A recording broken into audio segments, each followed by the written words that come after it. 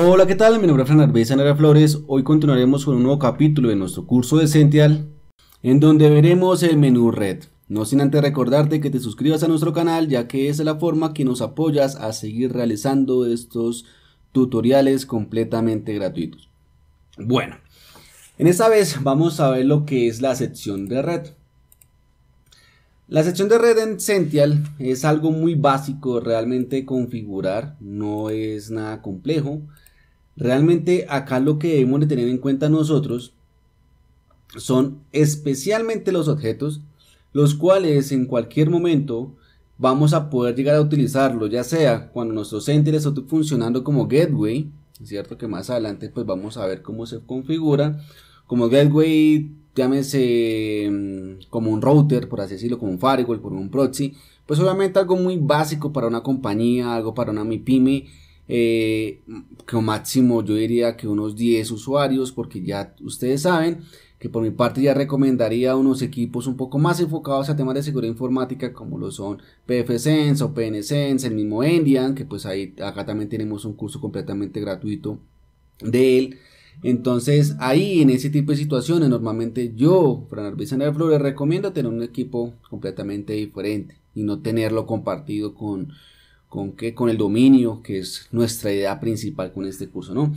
Bueno, acá tenemos las dos interfaces. Acá vemos que tenemos ETH0, está el método de HCP. Eh, podemos habilitarlo para que sea de forma WAN, para que ese sea el gateway que vamos a utilizar.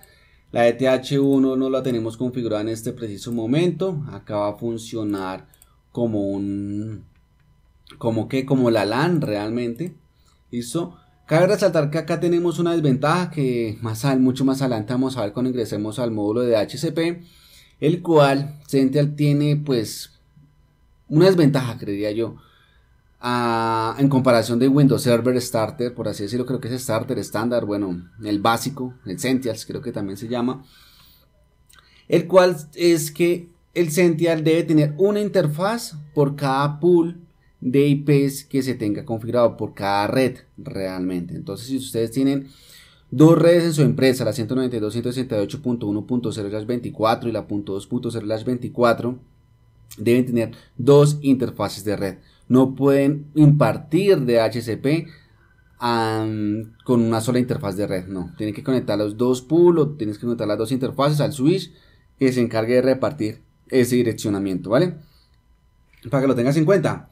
Bueno, entonces acá tenemos las dos interfaces, podemos tenerla en modo estático, colocar la dirección IP estática, de HCP, que le decimos lo que está así, esto, autenticación por PPOE, que es cuando tenemos una autenticación con, una WAN realmente en nuestro proveedor de servicios. Hoy son muy pocos proveedores de servicios que utilizan este método.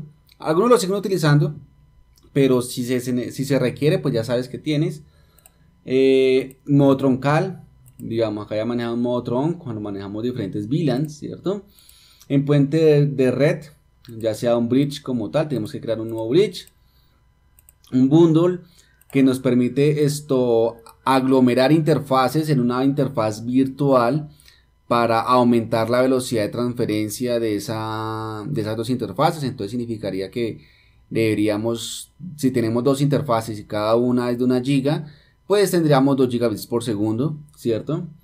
Eh, normalmente eso lo utilizamos cuando es Sentinel también hace el servidor de archivos. Entonces obviamente ahí ya el el switch a donde se conecta el, el Sential debería soportar también ese tipo de tecnología. Eh, si no es un switch completamente bruto, como se les puede decir, que son equipos muy básicos, ¿cierto? Como los TP-Link, los de Link capa 2 no administrables. Eh, de forma nativa lo podemos hacer sin problema porque ese bundle se hace a nivel de capa 2 eh, pero si es un capa 3, ya pues obviamente tenemos que mirar las características de ese capa 3 que lo soporten, porque si no, pues él va a funcionar solamente con una sola interfaz, ¿no? Entonces es una opción bundle o que no se encuentra configurada. En ese momento vamos a ver como de HCP, ¿cierto? Vamos a seleccionar como externo. Pero antes de eso, vamos a ingresar acá al cortafuegos porque si no me va a desconectar. Y le voy a decir las reglas de entrada. Vamos a configurar las reglas que tiene desde la WAN. O sea, yo en este momento estoy desde la WAN. Está la IP WAN de mi, de Sential, entre comillas WAN, ¿no? Entonces, desde la WAN a mi Sential, desde la lana SIM1 y de forma inversa con, con NAT, eh, saliente eh, y desde la LAN hacia el Sentinel. Vamos a configurar esta nomás, añadir nuevo, vamos a aceptar cualquier origen, el servicio, administración web de remote admin. Cabe resaltar que ustedes acá pueden colocar una IP de origen, ¿cierto? Desde donde la vas a administrar de forma desde, de pronto desde internet, se lo colocan como pasarela.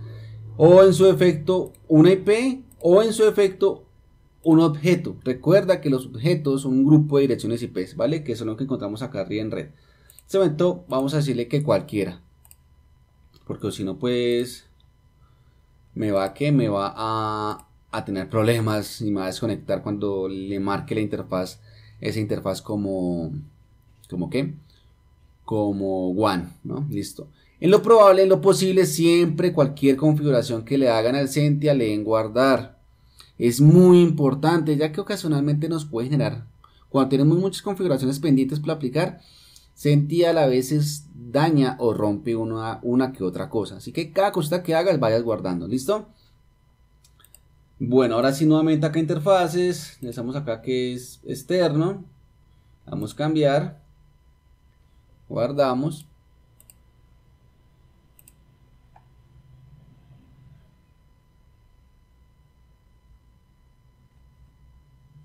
Ok, listo. Y la ETH1 la vamos a dar configurado como estática y le vamos a dar nuestra primera red 192 168 se me ocurre la 10.0 un slash 21 un slash 128 un slash 25 digo. Entonces acá le damos cambiar. Uy mira que me dice que la dirección IP más en red inválido. Bueno acá tenemos un problema porque mira que esta red sí me debería aplicar porque acá estoy subneteando no acá estoy subneteando como tal. Entonces vamos a dejarlo normal estático 192.168.10.0 vamos ahí vamos a cambiar. Ve vamos a guardar un segundo.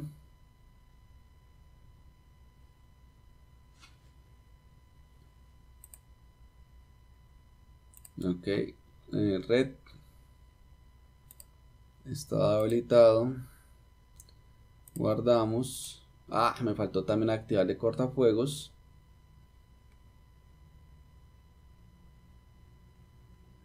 También es muy recomendable que si se demora un poco acá en Sentinel aplicar configuraciones que puede llegar a pasar realmente, eh, déjenlo que actúe. Si es muy crítica la actividad que ustedes están haciendo y aún así no carga y se queda pegado, pues sí, ahí sí recomendaría pues reiniciar el servidor, ¿no? También se recomienda que antes de cualquier configuración masiva que vayan a realizar, hagan un backup Listo, descarguen el backup o por lo menos tengan en cuenta que el último backup que realizaron es el último que posee las actualizaciones, ¿no? O los últimos cambios que ustedes aplicaron. Porque puede presentarse tipo de problemas que se nos daña el proceso de instalación, el proceso de actualización o el proceso de configuración nos hace dañar el, el Sentia, ¿no? Y pasa mucho, ¿vale? Ya, nos ya me ha pasado varias veces que me ha tocado que restaurar la configuración anterior. Más que todo cuando no guardo así constantemente, ¿listo? Nos vamos acá a la red. Otra vez Ethernet. Estático. Vamos a darle cambiar a ver. Dirección. Ah, ya sé por qué. Qué pena. Le estoy colocando la dirección IP de la red más no de la, de la interfaz. Un error de capa 8.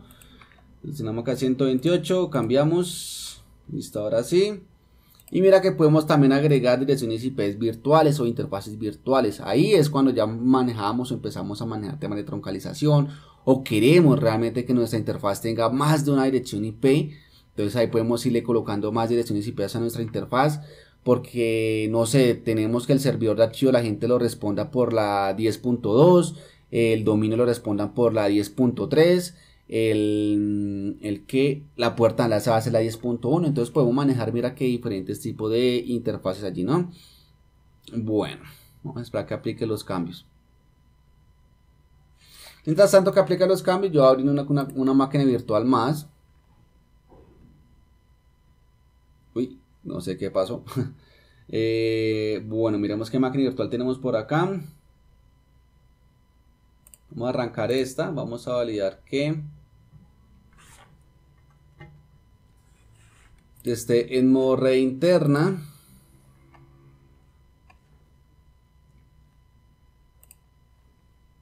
Listo.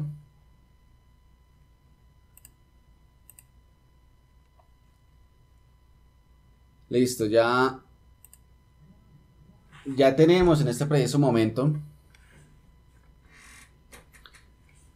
la configuración. Vamos a esperar que arranque mi ser, mi equipo, mi, la, mi, mi, mi máquina virtual que hace simulación de LAN.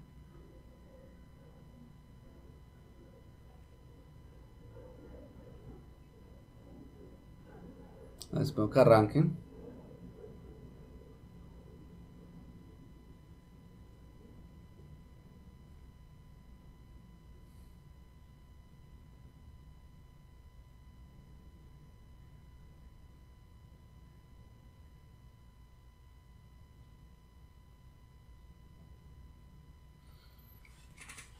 Bueno. Y pues obviamente no vamos a activar todo el DHCP, ¿no? Vamos a dejar una IP normal, ¿listo? No vamos a hacer más nada. Bueno, para que me responda esa interfaz. Solamente quiero probar que efectivamente esa interfaz quedó respondiéndome. Mientras tanto, acá también tenemos el tema de puertas de enlace. Nuevamente lo repito, cuando tenemos nuestro Sential como gateway. Entonces acá tenemos nuestra puerta de enlace principal que es por donde sale hacia internet, de la predeterminada, y acá podemos tener otras, ¿no? Si queremos hacer después más adelante balanceador de cargas, bueno, X, Y, Z, ¿no? Entonces podemos tener diferentes puertas de enlace acá. Y acá tenemos One Failover, tenemos balanceo de tráfico. Normalmente necesitamos más interfaces de red, pues para hacer este balanceo de tráfico. Y el One Failover, pues, si no detecta una interfaz que está acá y en un minuto no responde, pues, pum, va y se enruta por la otra interfaz, ¿vale? Pues en ese momento no lo tocamos, no es necesario para nuestro alcance, así que lo vamos tal cual así. Los DNS, pues en este momento tenemos configurados los de OpenDNS. Entonces acá podemos añadir más DNS si así lo deseamos. El dominio de búsqueda normalmente es de mi empresa, por ejemplo, sujic.local cuando estamos hablando de un dominio local. Lo damos tal cual. Si queremos agregar más DNS, lo pueden hacer sin problemas. Si usted tiene un DNS preferido, pues háganlo. Normalmente los operadores meten terror diciendo, ay, deben de configurar los DNS de nosotros para poder acceder a Internet. Mentira. A menos, ojo, esto no aplica si ese operador le vamos a acceder a servicios que solamente maneja ese operador. Por ejemplo, si usted es en el operador 1 y ese operador 1, eh, usted necesita acceder a unos servicios de ese operador 1, como por ejemplo facturas, un, portal de facturación, se me ocurre, un portal de autoconsulta, no sé. De pronto ese operador no tenga publicado a nivel de internet esos DNS o ese servicio, así que solamente lo publica a nivel de su DNS. Entonces, si ustedes colocan los de Google o de OpenDNS, pues no van a poder tener acceso a ese, a ese aplicativo que solamente tiene acceso a ese operador con su DNS, ¿vale? Entonces tienen que tener mucho cuidado eh, de acuerdo al operador que vayan a utilizar, ¿no? Porque muchos son algunos un poco tráfugas, por así decirlo, con ese tema, ¿no? Bueno, pero de resto no hay problema, coloquen los de OpenDNS, coloquen los de Google, solamente basta con darle a añadir nuevo y mira que no es nada del otro mundo, agregamos y añadir y guardamos. Veamos que no es nada al otro mundo, no es nada complejo. Vamos acá a mirar que ya tenemos acceso.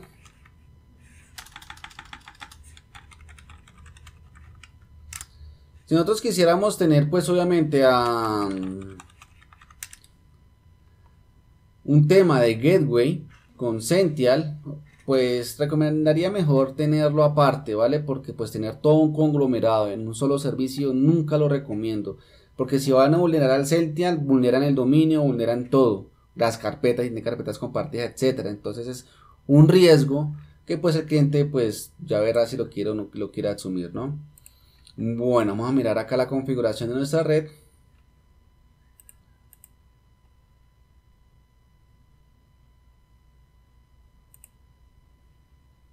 Ok, acá ya está, puerta de enlace 192, 168, 10.1 damos guardar. Activar desactivar. Vamos a abrir la consola.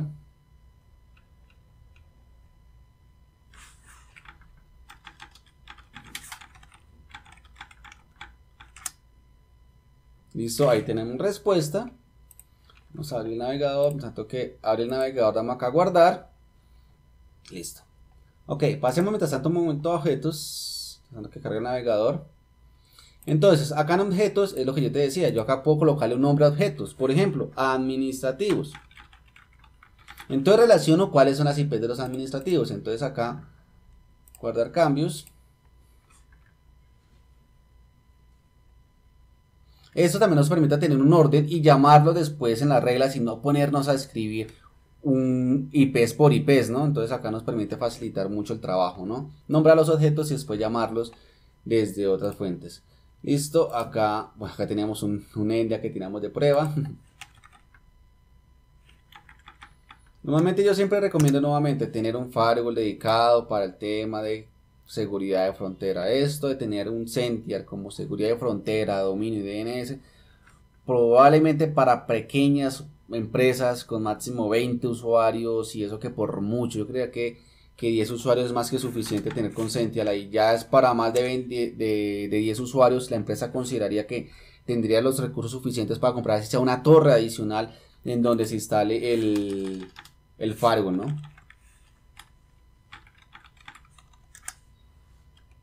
Listo. Listo, ahí miramos que tenemos acceso al Sential desde nuestra máquina local.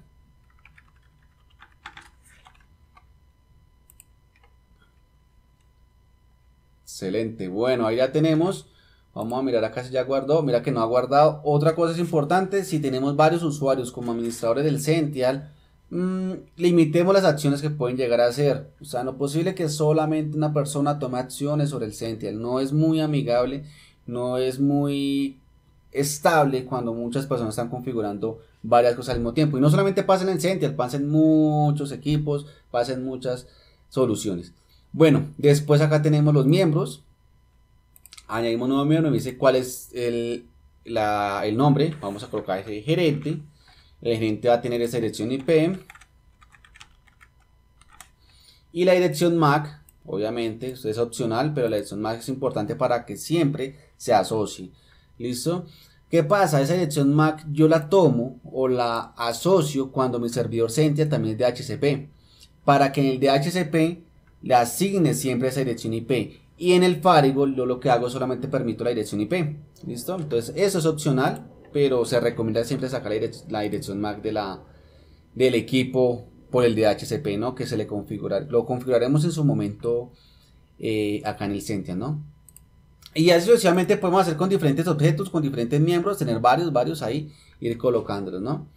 Bueno, cada resaltar que nosotros hemos montado infraestructuras con, con Genial, con Open Source, pues Sential, cuando la empresa, digamos, tenemos empresas que tienen 200 usuarios con Sentinel de dominio y el Endian soportando una cantidad de tráfico esto absurdo con una computadora convencional eh, y pues toda la infraestructura completamente en open source lo único pues que no hemos podido así migrar completamente y que ha sido un poco tedioso realmente lo que son las estaciones de trabajo de usuario final que pues obviamente no todos los usuarios van a pasarse a Linux eh, porque no tienen conocimiento o en su defecto porque los aplicativos que utilizan esos usuarios no funcionan sobre Linux, entonces toca o toca Windows.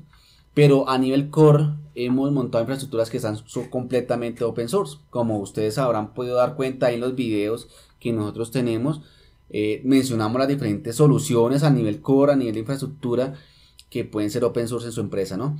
Pero bueno, acá sigamos con esto. Vamos a esperar que guarde.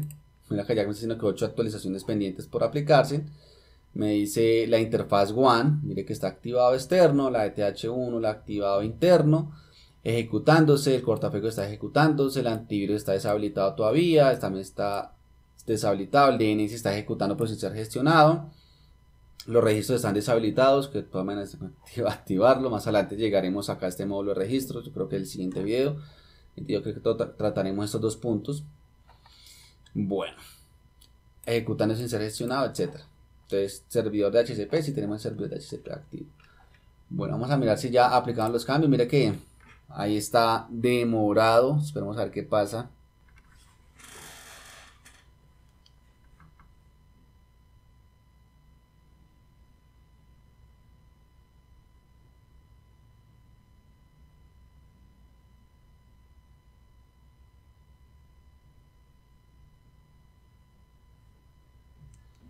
Listo.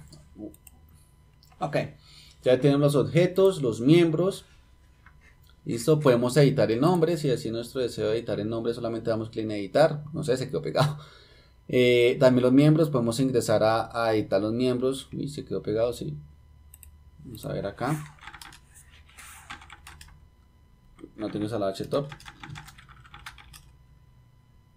Ahí está bien en memoria RAM, está bien el procesamiento, no hay problema.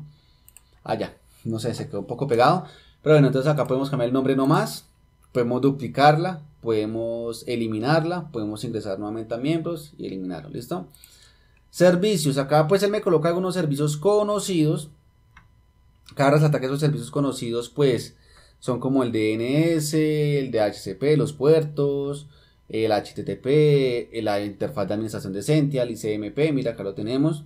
Podemos agregar un nuevo, por ejemplo, podemos, no sé, se me ocurre, es que son los más conocidos. Se me ocurre uno, vamos a colocar, está un poco lento, no sé si es mi conexión inalámbrica. Vamos a ver si lo podemos hacer por directamente desde acá. Vamos a actualizar este, este portal. Está un poco lenta. Bueno, nombre del servicio y la descripción del servicio. No sé, a mí se me ocurre acá páginas que tengan puertos específicos, ¿cierto? No sé, el de la Policía Nacional de Colombia. Vamos a ver antecedentes. Colombia, vamos a buscar. Entonces lo mismo, para cuando queramos permitir un puerto o algo, eh, acá lo asociamos al servicio, ¿cierto? Mira, acá lo tenemos. Entonces acá lo agregamos, le colocamos el nombre que antecedentes policía, digamos, Policía Nacional, antecedentes, y le colocamos el puerto. Eh, un ejemplo, acá podemos hacer el de, la, el de cualquier TCP. Me dice acá me da un rango completo de direccionamientos. Si es puerto de origen, puerto de destino cualquiera. Vamos a ver el de DHCP, el de HTTP, digo. Entonces mira acá, acá podemos, dice puerto origen, puerto destino, cualquiera, puerto destino, ese es el estándar. Podemos agregar otro, digamos, algunas páginas utilizan el 8080, entonces vamos a añadir nuevo puerto a ese servicio. Mira que a través de objetos asociamos son IPs, ¿cierto? A nivel de servicios asociamos son puertos, ya sean UDP o TCP. Listo, puerto origen cualquiera, puerto destino, eh, puerto único, lo colocamos 8080 digamos es el de Tomcat. Puerto origen único puede ser TCP, UDP, TCP, UDP, H, ESP, GRE, ICMP o cualquiera. Normalmente es TCP y UDP. Le vamos a añadir. Tengan en cuenta que algunas páginas de Google utilizan también esto HTTP sobre UDP. Entonces, para que lo tengas en cuenta, ¿no? Y ahora con lo que se vino con DNS over HTTPS, pues debes de tener mayor control realmente hoy en día. Cabe resaltar que eso es una observación que hago. Hoy en día eh, la IEEE sacó un nuevo estándar de seguridad de redes en el cual hace referencia a HTTPS, a DNS Security o DNS seguro sobre HTTPS. Eh, Listo, entonces, eso de que Anteriormente los firewalls bloqueaban las consultas de DNS. Si un usuario eh, activa esa opción en el navegador, cabe resaltar que ya está disponible para Firefox, la última versión. Eh, si el usuario activa eso sobre el navegador, se va a saltar el filtrado de cualquier firewall. ¿Vale? Llámese Fortinet, llámese Palo Alto, el que sea. ¿Listo? Mm, ya hemos visto el funcionamiento de este nuevo tipo de tecnología de, consultas de DNS y pues hasta los mismos gobiernos, hasta los mismos ISP están preocupados porque supone un riesgo para la seguridad nacional, llámese Estados Unidos, ¿no? Eh, que no se pueda controlar las consultas que hacen los usuarios, ¿no? Entonces, también se van a saltar firewalls, vamos a ver cómo se comporta esto. Eh, hoy en día sigue siendo una mejor alternativa bloquear todo, literalmente todo, a los usuarios y solamente permitir eh, a los usuarios a ciertas páginas dentro de la empresa. ¿vale? Ya o directamente con antivirus o con sensores directamente instalados en las computadoras de los usuarios, va a ser la única manera que se va a poder bloquear. Ya de forma transparente no se va a poder bloquear tan fácil. Entonces aumentando la carga de administración al personal de TI. Entonces ahí les doy ese pequeño tip. Así que ya va a ser un poco más necesario tener antivirus instalado con control centralizada en las computadoras de los, de los usuarios. Bueno, mira que ya aplicamos. Mira que aunque aplicamos los cambios no me, no me desapareció el botón. Pero listo. Rutas estáticas, pues yo creo que eso es claro. Podemos crear rutas estáticas. Vamos a hacer desde acá, siempre está un poco más rápido. Creo que sí. No sé si es mi computadora o no sé si es el disco duro, no sé. acá ya está. Vamos a ver cómo carga por este lado. Vamos a darle a añadir nuevo. Bueno, acá está la dirección como tal, a donde queremos ir el gateway que vamos a utilizar, entonces digamos que tenemos varias interfaces de red, tenemos un MPLS, tenemos otro internet, etcétera, entonces acá podemos definir las rutas estáticas. Eh, mira que no es nada del otro mundo. Vamos así, no hay nada, no es nada del otro mundo que podemos hacer acá. Y pues herramientas, pues las herramientas convencionales de red que acá se la abona, realmente se la abona Central para no ir a la consola como me toca normalmente con Endian que me toque la consola para hacer un ping, para hacer un MTR, para hacer un tracer, para hacer un eh, DIC, para hacer un DNS lookup, para hacer una cantidad de cosas que con Center pues tiene una interfaz para hacer eso. Entonces acá podemos hacer un 192, 168.10.1.2, qué pena. Entonces me va a dar un diagnóstico de ver si el, equipo está encendido y ahí está. es una, herramienta súper sencilla, ¿no? Bueno, entonces espero que este, pequeña, este pequeño tutorial, este pequeño video haya sido de su agrado. Recuerda, no, se te olvide suscribirte. Cualquier duda pregunta, inquietud, te invito a unirte a nuestro grupo en Telegram. Allí hay una comunidad de más de 500 o 450 profesionales de la comunidad que están dispuestos a apoyarte, entre esos yo. Así que, pues únete. Nos vemos en el siguiente video. Hasta pronto.